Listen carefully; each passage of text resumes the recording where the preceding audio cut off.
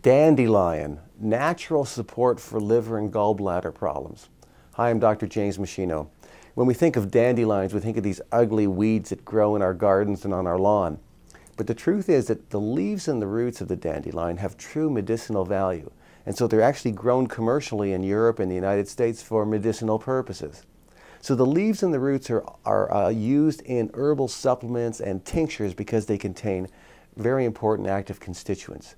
So the medical use for dandelion supplementation is that it improves digestion. And even more importantly, it, it actually increases the flow of fat and bile and cholesterol through the liver, into the gallbladder, and then even into the intestinal tract. In cases, in conditions where this is a, a sluggish uh, uh, process and you need to enhance it, then dandelion supplementation can be very helpful. So some examples of health conditions where dandelion supplementation can be useful.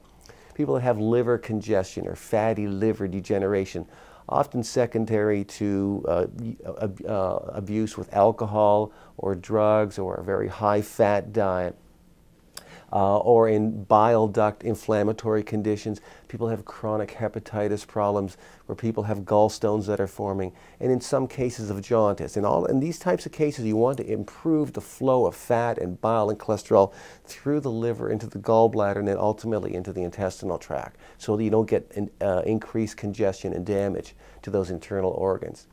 The active constituents in dandelion that make all this happen are known as the sesquiterpene lactones. So how do they work? Well, it's twofold. Number one, they, when they're present in the body, they increase bile production and the flow of bile to the gallbladder. Secondly, they increase the contraction of the gallbladder to release more of bile and fats that are stored in the gallbladder to be released into the intestinal tract. But what's important is that you need the right dosage and standardized grades, so otherwise it's not going to work and there are some contraindications. In certain health conditions, it's a huge mistake to use dandelion to try to treat it.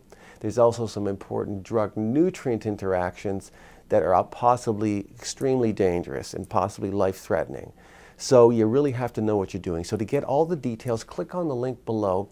You can read my short review article on dandelion to understand its safe medicinal use. All the scientific references are there so you know where all the, the evidence-based information is coming from.